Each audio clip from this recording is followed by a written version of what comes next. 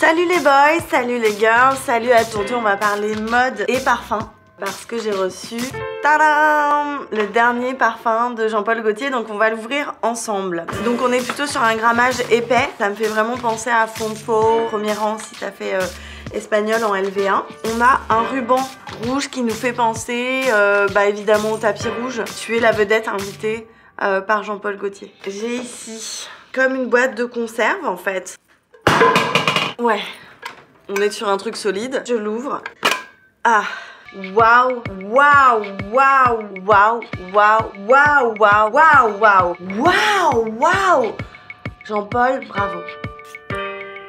En fait, je parfume la bouteille de parfum. Merci à tous d'avoir suivi cette vidéo. Je vous dis à très bientôt sur ma chaîne et c'était mon avis sur le dernier classique de Jean-Paul Gaultier. Bisous à tous, kissous.